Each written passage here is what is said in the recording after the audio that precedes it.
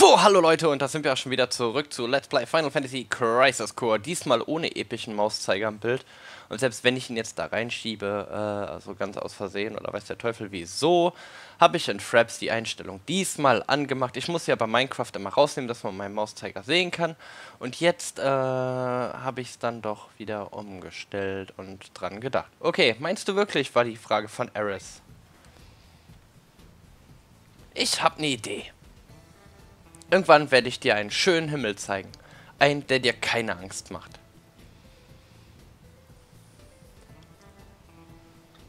Es gibt dir überhaupt keinen Grund, dich davor zu fürchten. Du wirst ihn bestimmt mögen.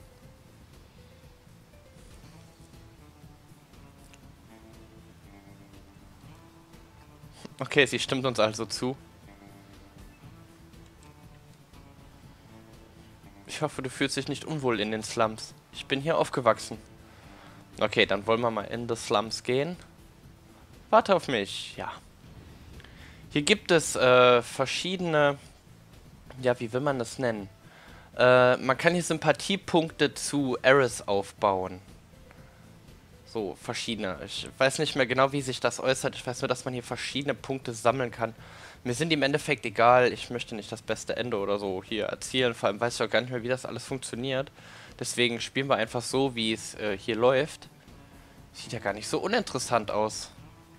Ja, sollen wir uns etwas umsehen? Hey, du stehst im Weg rum. oh, äh, Entschuldigung. Das gefälligst auf.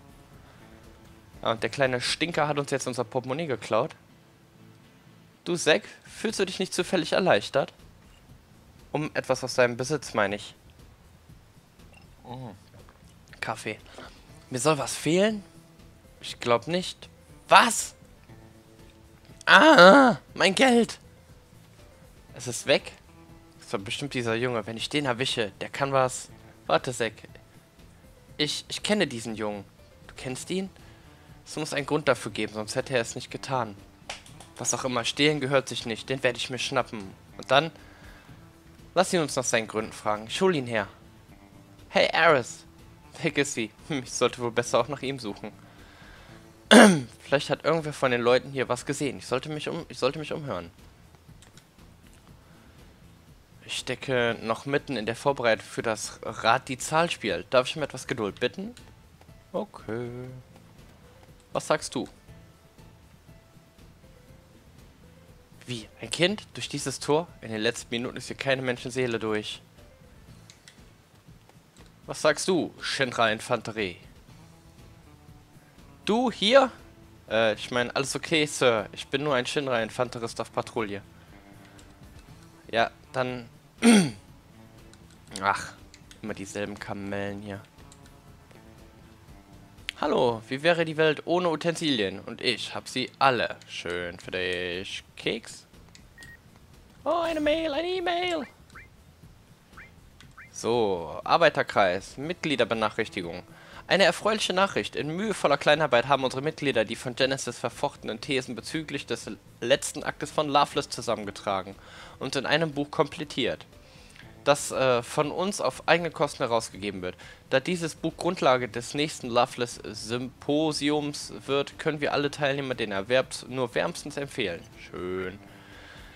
Liebe Soldatkämpfer, ich danke euch für eure täglichen Mühen. Im Schatten von Midgard, das auf einer gigantischen Plattform in der Luft schwebt, liegen die Slums.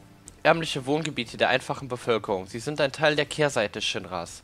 Besonders berührt mich, äh, wie ich von Kindern höre, die sich in den Slums zu Gangs, äh, zu Gangs zusammenrotten und ein beschwerliches Leben führen. und unser Präsident soll am Kinderreichtum in den Slums nicht ganz unschuldig sein. Verdrängten wir diese Kehrseite, so äh, hätte dies für die zukünftige Entwicklung Shinras schwerwiegende Folgen. Wenigstens wir von Soldat sollten darauf bedacht sein, das Elend zu lindern. Yeah, bitches. So, äh, lalala. Okay. Ich stehe hier einfach nur rum und beobachte die Passanten. Du siehst ganz schön beschäftigt aus. Und was sagst du? Suchst du jemanden? Durch diesen Ausgang gelangt man zu der Straße, die hoch zur Platte führt. Vielleicht wirst du ja dort fündig. Nö, nö. Oh, was hast du? Ich führe alles von Geschenken für die Liebste bis zu Dingen für den täglichen Gebrauch. Ich bin die Anlaufstelle für Accessoires. Und du?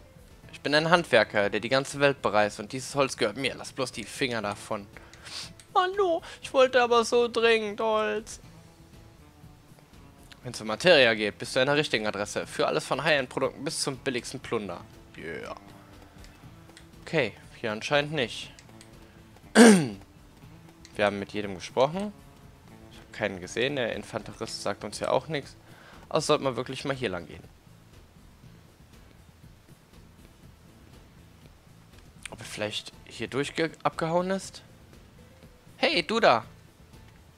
Ist vielleicht ein kleiner Junge entgegengelaufen?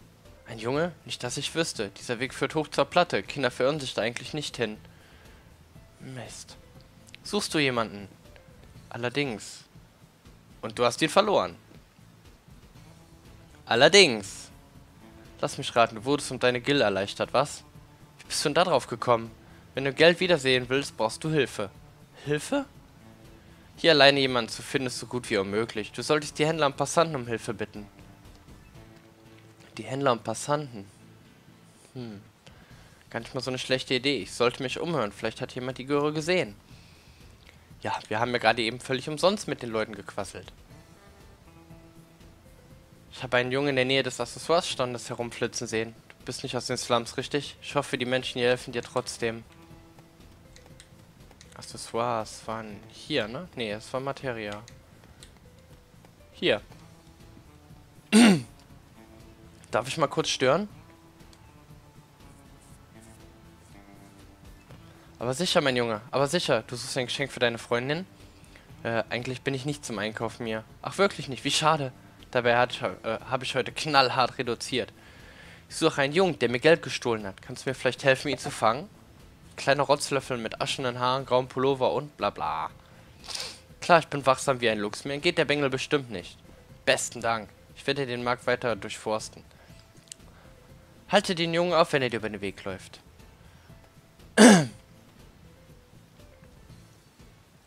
Wo steckt die Kröte bloß? Da ist er. Junge, Junge, der ist aber ganz schön fix. hey, bist du taub? Verdammt, er ist weg. Tut mir wirklich laut, äh, leid. Laufen war noch nie meine Stärke. Eine tolle Hilfe warst du. Du hast ja nicht mal versucht, ihm nachzusehen. Das ist aber ein, bisschen, äh, ein harsches Urteil. Also ich. Schon gut, ich versuche woanders mein Glück. Zack! Oh, Eris! Hast du den Jungen gefunden? Nein, noch nicht. Aber sicher bald, versprochen. Gut, versuchen wir unser Glück weiter. Ah, okay. Der sagt uns nur, dass wir die Finger von seinem Holz lassen sollen. Was haben wir denn hier? Hm, hey du, bist du etwa der Junge, der mir gerade mein Geld gestohlen hat? Das meinst du da wohl nicht ernst, oder? Ich stehe schließlich schon die ganze Zeit hier. Entschuldige, war nur ein Versuch. Ihr seht aber auch alle so gleich aus. Naja, egal, vielleicht kannst du mir helfen. Klar, mach ich gerne. Du willst also den Jungen fangen, der dein Geld gestohlen hat? Dann rück mal deine Potion raus, wenn du was... Was? Wenn du das machst, verrate ich dir, was ich weiß. Ein Handel? Na klar, wo kommst du denn her? Geld regiert die Welt. Willst du Infos, musst du zahlen. Okay. ist mir ein Vergnügen, mit dir Geschäfte zu machen. Ich drehe mich... Was? Und jetzt dreh dich um. Er ist direkt hinter dir. Was? Er ist nicht mehr da. Hast du eine Ahnung, wohin er verschwunden sein könnte? Ach, der will also noch eine Potion.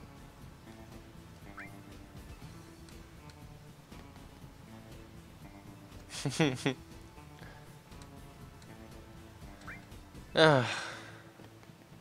Der verarscht uns also. Ah, natürlich.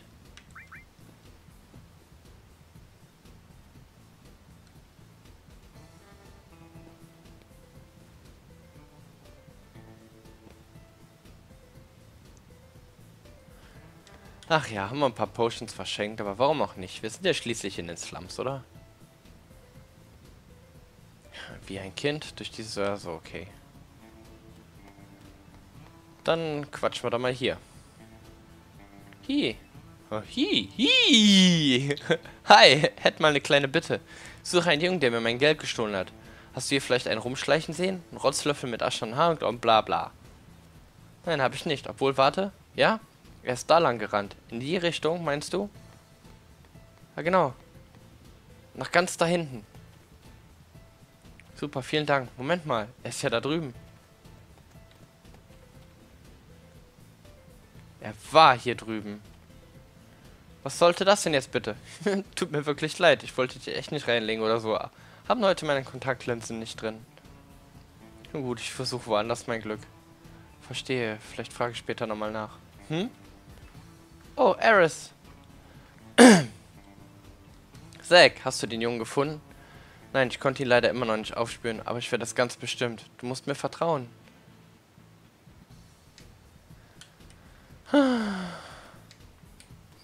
Okay, wir waren jetzt bei dem, bei dem. Hm. Sprech mal nochmal mit ihr. Hier steckst du also. Zack. Mit Eris sprechen. Siehst aus, als wärst du auch leer ausgegangen. Hey, kein Grund, Trübsal zu blasen. Ist doch nicht dein Geld. Trotzdem tut es mir schrecklich leid. Aber ich bin mir auch sicher, dass er nicht grundlos gestohlen hat. Hm, wenn er das Geld ausgeben will, dann ist er doch bestimmt in der Stadt, oder? Ja, das denke ich auch. Dann hilf mir ihn zu finden, Eris. Wir werden nie rausfinden, warum er es getan hat, wenn wir ihn nicht schnappen. In Ordnung. Aber wenn wir ihn erwischen, dann musst du, musst du dir seine Begründung anhören. Klar, abgemacht. Ich werde ihn fragen, warum er es getan hat. Gut, dann helfe ich dir. Aber nur dann. Okay, mal sehen. Eris passt hier auf und ich mache nochmal eine Runde. Hey, wenn das kein Plan ist. Okay, mach mal eine Runde. Miep, miep.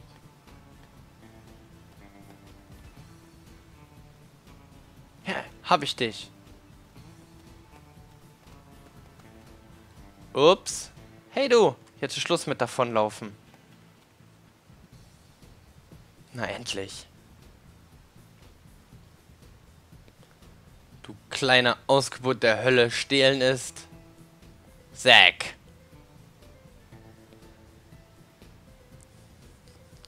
Etwas ganz, ganz Schlimmes. Also warum hast du es getan? Es geht dich gar nichts an. Und ob schließlich hast, schließlich hast du mein Geld gestohlen. Du hast mir doch vor einiger Zeit versprochen, dass du es nie wieder tun würdest. Steckst du etwa in Schwierigkeiten? Wenn du Probleme hast, dann rück damit sofort raus. Eris macht sich, nie, macht sich sonst große Sorgen. Mein Sparschwein mit meinem ganzen Geld drin ist von einem Monster verputzt worden. Dabei muss ich ganz schnell Medizin kaufen und zurück nach Hause.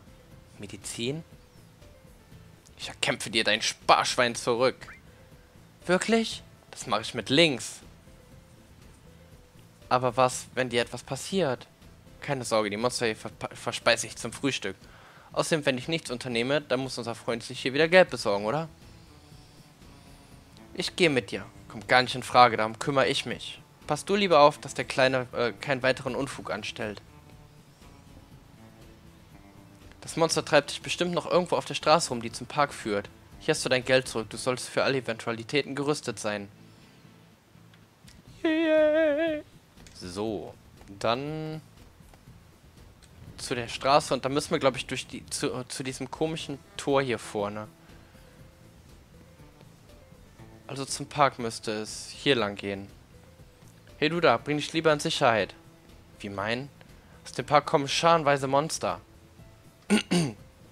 Der Park, alles klar, das muss es sein. Alles klar, mir scheint jetzt überhaupt nichts klar. Du solltest lieber Reis ausnehmen. Mit den Biestern ist nicht zu spaßen. Mach, dass du hier wegkommst. Danke für die Warnung, aber ich muss noch ein paar Schulden eintreiben. Was? Hat dir aus dem Markt irgendjemand eine Kopfmassage mit seinen Fäusten verpasst? Nee, lass mal gut sein. Ich schaff das schon. Sorg dich lieber um dein eigenes Wohl. Oder um deine eigenen Probleme. YOLO Swag. So. Hui. Das seid ihr endlich, elende Diebe. Das Geld muss im Magen einer dieser Biester sein. Und das heißt, ich muss einen schönen Shop habe ich mir da aufgehalst. So, zack. Und das mag ich nicht. Aber die Phasenmodulation im Stoppmodus ist natürlich auch cool. Beschwörungsmodus. Mein Gott, habe ich den häufig im Let's Play. Das ist echt der reine Wahnsinn. 2-2 heißt Stufenanstieg für Vita. Stufe 4. Sehr cool. Aber da wir diese Bestia nicht haben, gibt es hier nur eine einfache Schwertkombo. Und ich habe immer noch Stopp. Oh Mann. Ich hasse Stopp. Nix ist. Haut mir ab hier. So, einer weniger. Und, komm schon. noch einer weniger, beziehungsweise beide weniger. Ah, das ist ja das Sparschwein. Hoffentlich ist das Geld noch von äh, noch nicht von der Magensäure angegriffen, angegriffen worden. Ist nicht wahr. Der, der Bengel hat ja viel mehr Geld als ich. Krass, du hast es mir wiedergeholt. Ih, das ist ja voll zugeschleimt. Hör auf zu nölen. Sei lieber froh, dass du dein Geld zurück hast. Ist dir wirklich nichts passiert? Ach, das war doch ein Kinderspiel. Ich bin nur zweimal gestoppt worden. Und nun zu dir, mein kleiner Freund. Wir werden uns äh, jetzt mal ausgiebig unterhalten. Das heißt, das sollten wir vielleicht, aber du hattest es eilig, nicht wahr? Also geh schon. Danke. Wenn du mal wieder in Schwierigkeiten steckst, dann komm zu mir, bevor du wieder was klaust. Danke für das Angebot, aber ich denke, ich lehne ab. Ich kann doch nicht von einem armen Schlucker wie dir Geld leihen. Mach dich nicht über mich lustig, Kleiner. Bald bin ich ein reicher Mann. Erst und ich steigen ins Blumengeschäft ein. Wie? Der Blumen für mit... Äh, was? Blumen für Midgar Geld fürs Portemonnaie plan.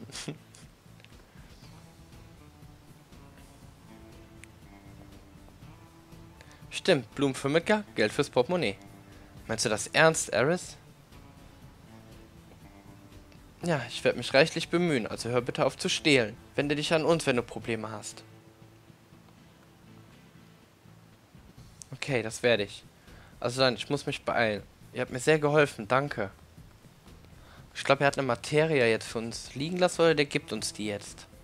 Ach übrigens, wenn du weiter so rumträumst, bist du dein Geld schneller wieder los, als du gähnen kannst.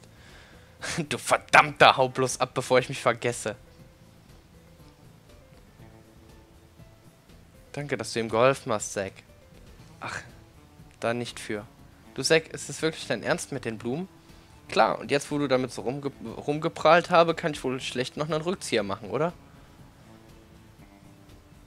Ich hab's. Lass uns einen Wagen bauen. Ein Wagen? Ja, ein Blumenwagen.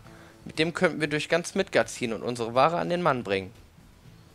Ja, das ist eine gute Idee. Ja, dieser Wagen ist auch eine optionale Sache in diesem Spiel. Äh, es gibt, glaube ich, drei oder vier verschiedene äh, äh, Wegen. Einmal, äh, einmal einen Holzwagen, ganz normalen. Mm. Ich glaube, einen Metallwagen und noch was Besseres. Ich bin mir aber nicht mehr ganz sicher. So, jetzt, wenn wir Eris dabei haben, können wir auch mit den Läden sprechen. Nur heute garantiert das Rückgaberecht bei Unzufriedenheit auf alle Utensilien mit dem roten Punkt. Oh, hier kommt wie, wie gerufen. Ich habe gerade einen wunderbaren Duft im Angebot. Ein echter Kavalier macht seiner Freundin sowas zum Geschenk. Wäre es nicht schlappe 300 Gil? Ja, warum nicht? Und ich wäre nicht ich, hätte ich nicht noch ein super Spar-dich-reich-Angebot im Petto. ah, wenn du etwas von diesem hochwertigen Großnütz zu dem Duft mischst, äh, dreht, was? Dreht deine Nase vor Freude Pirouetten. Versuchst du es, äh, ver versuchst du dich als Parfümier. Okay, äh, Safe State, FTW. Wir haben ja nicht viel Kohle. Ah, du verstehst was von Düften, das wusste ich gleich. Dann werde ich gleich mal Geheimnisse des Mischens einweisen. Immer raus damit. Vor dem Mischen wird verraten, wie viele Tropfen Öl idealerweise beigemischt werden sollen. Je exakter die Mischung, desto lieblicher wird das Parfüm am Ende duften. Sobald die äh, Flasche mit dem Rosen geöffnet worden ist, tropft das Öl hörbar hinunter. Tropf, Tropf, Tropf, Tropf, Tropf. Die Tropfen müssen gezählt werden. Ein Tropf zählt für ein Tropfen Öl, ein Tropf, Tropf zählt für zwei Tropfen, ein Platsch zählt 10. Wenn die gezackte, äh, äh gezackte, äh, gezackte X-Aal von Tropfen erreicht worden ist, kann das Mischen mit X abgebrochen werden. Okay, die Idealmenge beträgt 23 Tropfen. Okidoki. Pass auf, dass du dich nicht verzählst. Also ich fange dann an, ja? Okay. Eins, zwei, vier, fünf. Ey, nicht so schnell, da kann doch kein Arsch mitzählen. So. Hier haben wir 1, 2, 4, 5, 6, 7, 8, 9, 10, 11, 12, 13, 14, 15, 16, 17, 18, 19, 20, 21, 23. Gut, mal sehen, wie du abgeschnitten hast. Respekt, du hast dir exakte Menge beigemischt. Hm, das duftet wirklich wunderbar. Also gut, die Ölmenge mit, mit einberechnet macht das 530 Gil. Vielen Dank, beerb mich bald wieder. Hier, Eris, das ist für dich. Ich hoffe, es gefällt dir. Oh, wie lieb von dir. Ein Parfüm, das muss ich sofort ausprobieren. Oh, das duftet wundervoll. Vielen, vielen Dank, Zack. Yeah, bitches. Es ist fast zu schade zum Benutzen. Meinst du das ernst? Ähm, tu einfach, was du für richtig hältst. Yeah, wir sind... Ähm, ne, wir haben noch ein bisschen Knete. So, wollen wir doch mal eben hier speichern. So. Dann wollen wir uns die Mails anschauen. Holländer T-Shirt. Hat mich sagen lassen, dass äh, das Lieblingsshirt von diesem Holländer das Logo der berühmten Banora Apfelkompott-Dosen ziert. Ob der Typ wirklich so versessen auf Äpfel ist oder hat er seine Finger bei dem im Spiel, was in Banora abging. Seine Arbeiten in der Forschungsabteilung waren, regelmäßige, äh, waren regelmäßig Desaster. Im abteilungsinternen Machtkampf unterlag er, wurde auf einen bedeutungslosen Posten runterbefördert und hat sicher einen tierischen Hals auf Shinra. Aber da ein Firmengeheimnis kennt, werden die ihn auch nicht kündigen lassen. Hm, ob das T-Shirt ihm wohl als Stressausgleich dient? Kunselmensch. Du hast Ideen, Alter. So, was haben wir denn hier? Bist du interessiert an einer Geschichte? In der Umgebung von Midgard tauchen in letzter Zeit immer, immer mehr schreckliche Monster auf. Das hat mir ein Reisender äh, aus Kalm erzählt, mit dem ich vor kurzem angefreundet habe. Er meinte auch, dass er schon die ganze Welt bereist hat, aber noch nie sah er so viele Monster wie hier. Hm, okay. So, da gibt es, äh, da möchte sie jetzt einen Schal haben, glaube ich. Hallo Eris, lange nicht gesehen. Ist das etwa dein neuer Freund? Hm, da bin ich mir noch nicht so ganz sicher. Hey, du bist doch, ja genau, der Typ, der den Jungen verfolgt hat. Hab von deiner Hilfsaktion gehört. Bist ja doch nicht so ein eingebildeter Schnösel, wie ich zuerst gedacht habe. Tut mir leid, dass ich dich so unfair behandelt habe. Hier, nimm das als kleines Zeichen der Wertschätzung. Ein Soma erhalten. Ein Allheilmittel. Aber mal was ganz anderes, Eris. Du hast ja einen ziemlich netten Typen geangelt. Er ist aber nicht mein Freund. Wir haben uns gerade erst, erst getroffen. Naja, wer weiß, vielleicht wird er es ja mal.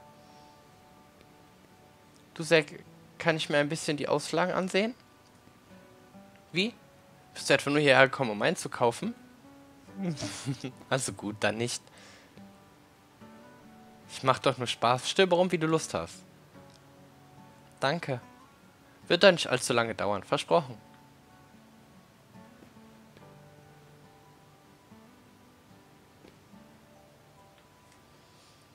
Du magst diesen Stand, nicht wahr? Ja, hier gibt es immer wieder etwas Neues zu entdecken. Hey, Eris. Ja, als Danke dafür, dass du mich gerade so nett mit deinem Hallo geweckt hast, würde ich dir gerne etwas kaufen. Aber das brauchst du da nicht. Ich dachte, dafür wäre die Verabredung. Den Vorschlag äh, scheinst du doch für ziemlichen Unsinn zu halten. Nun ja, also... Okay, dann betrachte es als Andenken an unser erstes Treffen. Wirklich? Wirklich.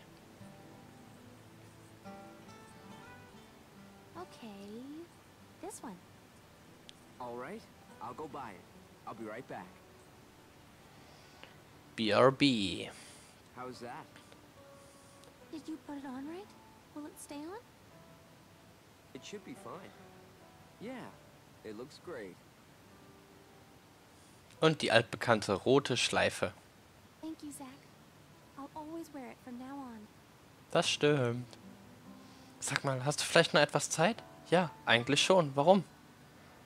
Was hältst du davon, wenn wir zum Park gehen? Hey, das klingt jetzt nach einem wirklich, wirklich nach einem Date. Ja. okay, kann gar nicht schnell genug gehen. Also dann, worauf warten wir? So, und auch dieses Ungetüm von, keine Ahnung, Gubbel Gubbel wird euch noch bekannt vorkommen. Wenn ihr Final Fantasy VII gespielt habt. Maybe. Do you think that they're happy?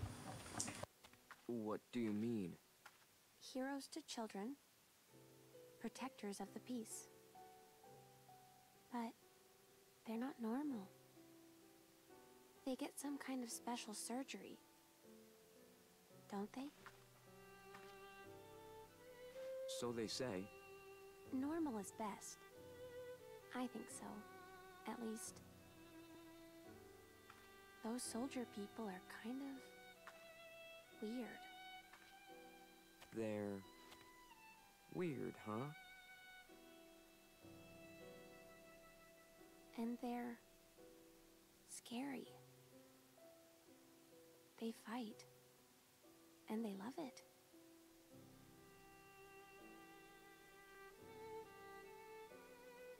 Actually, I'm with Soldier. I'm sorry.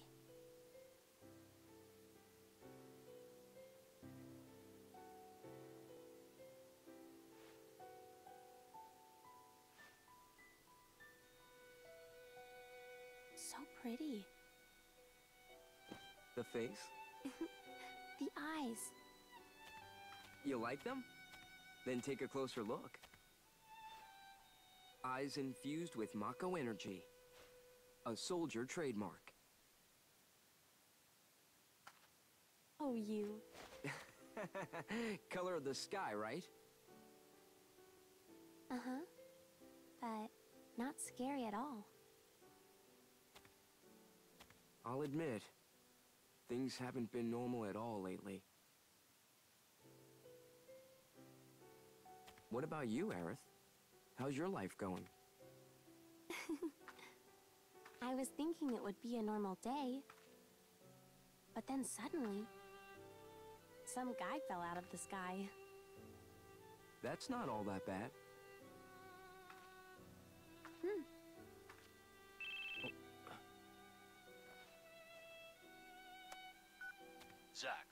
To the Shinra building now. Genesis has attacked us. On my way. I'm sorry, but duty calls. Well, I guess I should get going then. Will I see you again? Of course. I hope that your friend's okay, Zach. Huh? You talk in your sleep. Yeah. It'll be fine. I know that now.